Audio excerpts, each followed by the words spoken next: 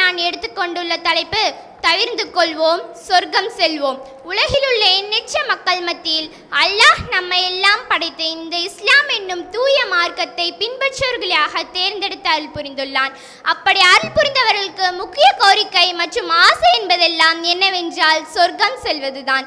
மற்றொரு முக்கிய வேண்டுகோள் என்னவென்றால் அல்லாஹ்வின் தண்டனை பெற்று நரகம் சென்று விடக்கூடாது என்பதுதான். இவ்விரண்டிற்கும் இறைவனே பதில் சொல்றான். நீங்க சொர்க்கம் செல்லணுமா? நீங்க எப்படி இருக்கணும் தெரியுமா? இந்த சொர்க்கம் யாருக்கு உரியது தெரியுமான்னு அல்லாஹ் சொல்லி காமிக்கிறான். மூணாவது அத்தியாயத்துல நூத்தி முப்பத்தி மூணாவது வசனத்துல சொல்லி காமிக்கிறான். வசாரி உயிலா மௌஃபிரத்தி மிர் ரப்பிக்கும். உங்கள் இறைவனிடமிருந்து கிடைக்கும் மன்னிப்பிற்கும். வ ஜன்னதி அருளுஹ ஷமாவாத்து வல் அருள். வானங்கள் மற்றும் பூமியின் பரப்பளவு கொண்ட சொர்க்கத்துக்கும் விரையுங்கள். உயிதத்லில் முத்தகீன். இறைவனை அஞ்சுவோருக்காக இது தயாரிக்கப்பட்டுள்ளதுன்னு அல்லாஹ் சொல்லி காமிக்கிறான். இன்னும் இறைவனை அஞ்சுவோருக்கு சொர்க்கம் மட்டும்னு சொல்லாம அல்லாஹ் எப்படி சொல்றான் தெரியுமா? இறைவனை அஞ்சுவோருக்காக இது வாக்களிக்கப்பட்டுள்ளதுன்னு சொல்றான். நீங்க இறையச்சவாதியா இருக்கிறீங்களா? உங்களுக்கு சொர்க்கம் கன்ஃபார்ம் எப் எப்படி நீங்க சில காரியங்கள் செய்தா உங்களுக்கு சொர்க்கம் கிடைக்குமோ அது போல நீங்க சில காரியங்கள் செய்தா உங்ககிட்ட சில குணங்கள் இருந்தா உங்களுக்கு நரகம் கன்ஃபார்ம்னு அல்லாஹ் சொல்கிறான் அதை பற்றி தான் நாம் இப்போ பார்க்க போகிறோம் மன் ஃபாரக ரூஹு ஜசத வஹுவ பரி உமின் சலாஸ் யார் மூன்று குணங்களை விட்டு விலகிய நிலையில் மரணிக்கின்றாரோ தஹலல் ஜன்னத்தை அவன் சொர்க்கத்துக்குள் நுழைகிறான் அதாவது மூன்று குணங்களை விட்டு விலகியே நில்லுங்கள் கவனமாக இருங்கள். அவ்வாறு இல்லாவிட்டால் அவை நரகல் சேர்த்து விடும் என்று நபி ஸல்லல்லாஹு அலையம் கூறுறாங்க. அந்த மூன்று குணம் என்னவென்றால் அதில் முதலாவது குணம் அல் கிப்ரு. பெருமை. பெருமைனா என்ன? ஆணவம் அகந்தை. அதை எப்படி சொல்லலாம்? பிற மனிதர்களை இழிவாக கருதி தன்னை உயர்வாக கருதும் குணம் யாரிடத்தில் இருக்கிறதோ அவர் அந்த குணத்தை விட்டு நீங்காத நிலையில மரணிச்சிட்டாருன்னா அதாவது அந்த பெருமை அப்படிங்கிற குணத்தை விட்டு நீங்காத நிலையில மரணிச்சிட்டாருன்னா அவர் நரகம் தான் செல்வார் நபிஸ்லாஸ்லம் எச்சரிக்கிறாங்க.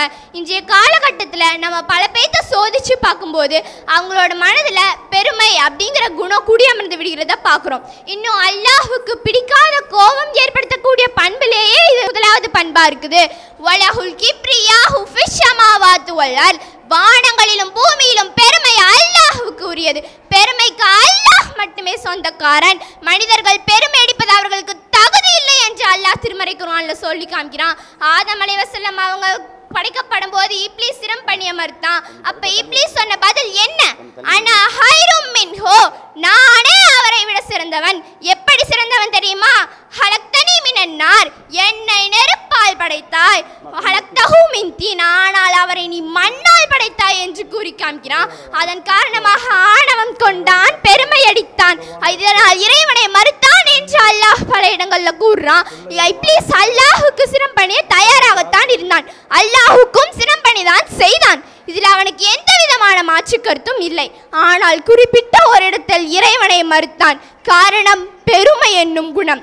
இதனால் இறைவனை இழைவிற்கு இலக்காகி உலக முஸ்லீம்கள் அனைவரிடத்திலும் யா அல்லாஹ் இவனிடமிருந்து எங்களுக்கு பாதுகாப்பு வேண்டாம் என்று சொல்லும் அளவிற்கு சாபத்துக்கு ஆளானான். இதற்கு பின்னால் இருக்கும் குணம் என்ன? ஆணவம் என்னும் குணம். இந்த உலகத்தில் அல்லாஹ் ஒருவரை விட ஒருவரை சிறப்பித்துத்தான் படைத்துள்ளான். ஒருவரை செல்வத்திலும் சிலரை அறிவிலும் பலரை அழகிலும் என்ற இறைவன் அனைவருக்கும் குறிப்பிட்ட ஒரு சிறப்பினை வழங்கியுள்ளான். இப்படி சிறப்பு பெற்றவர்கள் தான் ஒரு சிறப்பு பெற்றுவிட்டால் அனைவரையும் இழிவாக கருதி தன்னை உயர்வாக கருதுகிறார்கள். ஒன்று இல்லை இன்னொன்று கண்டிப்பாக பெஸ்ட் இருக்குது. உதாரணத்துக்கு சொல்லணும்னா பார்வையற்றவருக்கு பார்வை இல்லை. ஆனால் அவங்களுக்கு கூர்ந்து கவனிக்கும் ஆற்றல் திறன் இருக்குது. நம்ம ஒரு நாள் பள்ளிவாசலுக்கு கண்ணை கட்டிட்டு போனோம்னா எங்கேயாச்சும் இடிச்சுக்குவோம். ஆனால் அந்த இடத்துக்கு நம்ம நூறு தடவைக்கு மேலே போயிருப்போம். ஆனால் அவங்க ஒரு டைம் வந்தாலும் சரி ரெண்டு டைம் வந்தாலும் சரி கரெக்டாக வெளியே போவாங்க.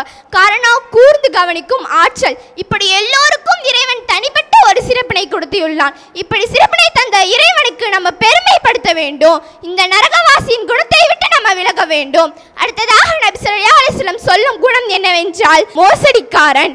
மோசடியின் நிலையை விட்டு விலகாமல் யார் மரணித்திட்டாரோ அவர் நரகவாசின்னு நபி சொல்கிறாங்க சொல்றாங்க. இன்றைய காலகட்டத்தில் எவ்வளவு வகையான மோசடி? எல்லா துறையிலும் மோசடி. இன்னும் சொல்ல போனா மோசடி இல்லைன்னு சொன்னா அது ஆச்சரியத்துக்கான விஷயம். இந்த வியாபாரத்தில் நம்ம நூறு பர்சன்டேஜ் நம்பிக்கை கூட ஒரு பொருளை வாங்கிட முடியுதா?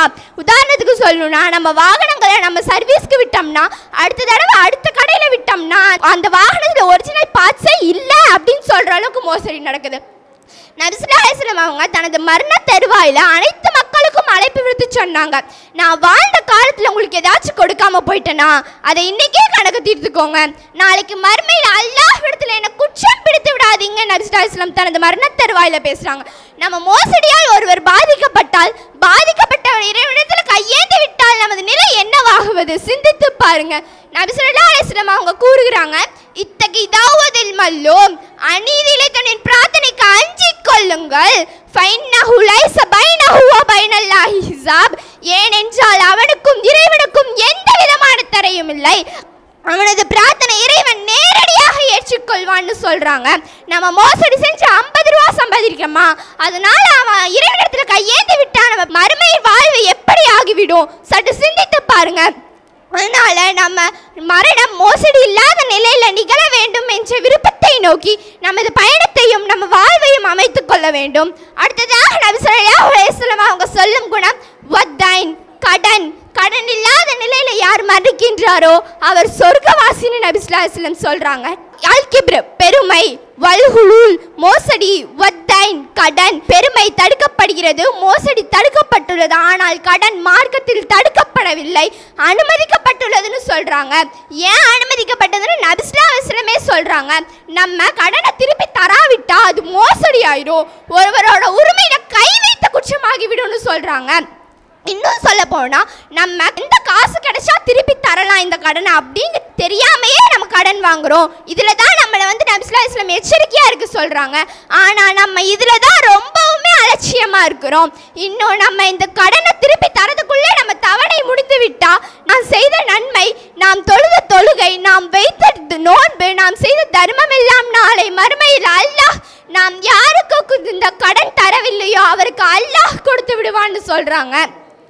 நபி சொல்லா அலையம் அவங்க தனது ஒவ்வொரு நேர தொழுகையிலுமே இந்த கடனை விட்டு பாதுகாப்பு தேடுறாங்க. நபி சொல்லா அலையம் அவங்க தனது ஒவ்வொரு கடமையான தொழுகையிலும் அல்லாஹும் இன்னி அஊது மாசமி வல் மௌரமி இறைவா பாவத்தை விட்டும் கடனை விட்டும் உன்னிடம் பாதுகாப்பு தேடுறேன்னு சொல்றாங்க. அதுக்கு நபிஸ்லா இஸ்லாமே காரணமும் சொல்றாங்க. நான் இந்த கடன் நம்மளை பொய்யனாக்கும் வாக்கு மீறுபவனா ஆக்கிவிடும்னு சொல்றாங்க. இந்த விதை விதைத்தவன் வினை அறுப்பாங்கிறது போல கடன் பட்டவன் கண்டிப்பா போய் சொல்லுவாங்கிறது உண்மை. உதாரணத்துக்கு சொல்லணும்னா நம்ம கடன்காரங்கிட்ட பணத்தை கேட்டா நான் படம் ரெடி ஆயிருச்சு. ஆனா பணத்தை நான் வேற ஷர்ட்ல வச்சுட்டு வேற ஷர்ட்டை மாத்தி போட்டு வந்துட்டேன்னு சொல்லுவான். ஆனா அவன் எந்த ஷர்ட்டும் மாத்தி போடல. எந்த ஷர்ட்ல பணத்தையும் வைக்கல. ஆனா அவன் அந்த இடத்துல நம்ம அந்த கடன் நம்மளை பொய் சொல்ல வைக்குதா? இல்லையா? அப்போ இந்த இந்த விபரீதம் எந்த அளவுக்கு என்றால் இந்த கடன் வந்து எல்லாத்துல உயர்ந்த அந்தஸ்தில் இருக்கக்கூடியவங்க உயிர் தியாகம் செய்த சகீதுக அவங்களுக்கு கூட பாவங்கள் மன்னிக்கப்படும். ஆனா இந்த கடனை தவிர நபிஸ்லா இஸ்லாம் சொல்றாங்க யௌஃபிருலி ஷஹீதி குல்லு தம்பின் இல்லாதேன். என்று சொல்ற நபிஸ்லா இஸ்லாமே சொல்றாங்க என்றால் இந்த கடன் இஸ்லாத்தில் உயர்ந்த அந்தஸ்தில் இருக்கக்கூடியவங்களை கூட இந்த அல்லாஹ்வின் முன்னால் கடன் பாவத்தை சுமந்தவங்களை போல நிற்க வைத்து விடும். ஆனால் கடன் இல்லாத நிலையில மோசடி விட்டு விலகுதல் பெருமையை விட்டு விலகுதல் ஆகிய நட்பண்புகளை பெற்று சுமண புகுவோம் என்று பிரார்த்தித்தவளாக எனது உரையை முடிக்கிறேன். அஸ்ஸலாமு வலைக்கும் வரமத்துல்லாஹி வபரகாத்து